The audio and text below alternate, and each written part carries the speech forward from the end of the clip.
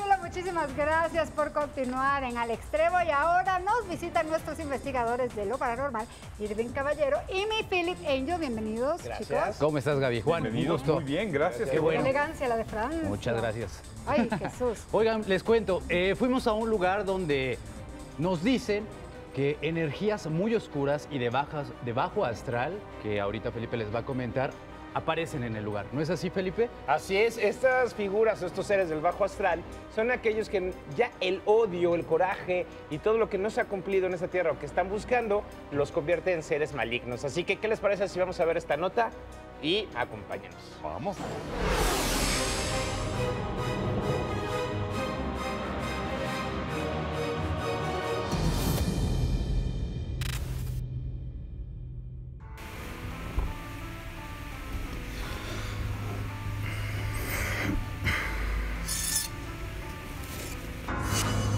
La psicofonía o parafonía es el medio ideal para que energías del más allá puedan contactar a los vivos. Y Ricardo lo vivió en carne propia. La historia de Ricardo es sumamente aterradora. Todo comenzó una noche cuando comenzó a tener pesadillas.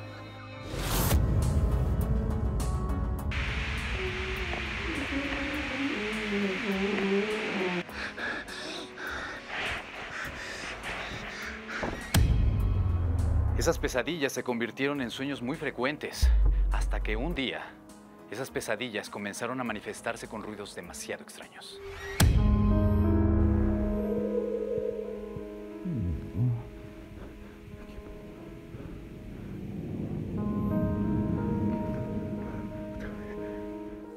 Todo indica que seres de bajo astral habitan este lugar.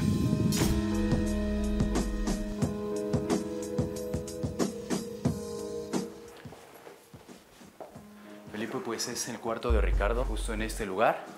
Es donde empiezan a suscitarse las cosas extrañas y paranormales. Pues huele un poco extraño, Irving. Sí, ¿verdad? Huele, no sé, es un aroma...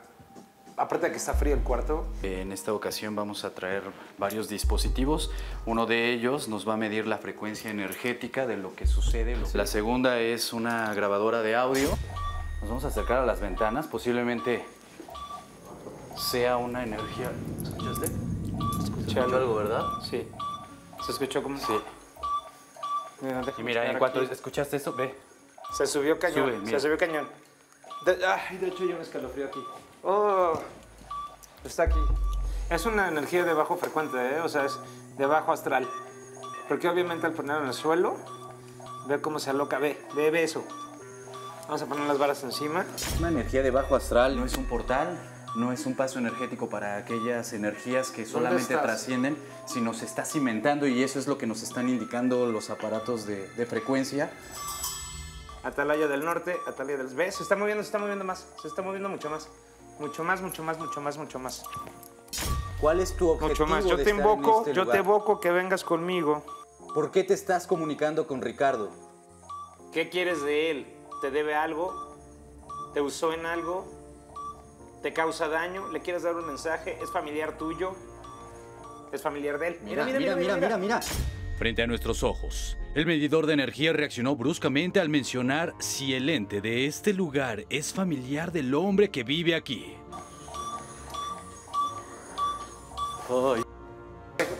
¿Dónde? ¿Dónde? Por, por ahí, por, por ahí está. Se escuchan pasos. Está subiendo. A ver, ve, ve, ve. ¿Dónde estás?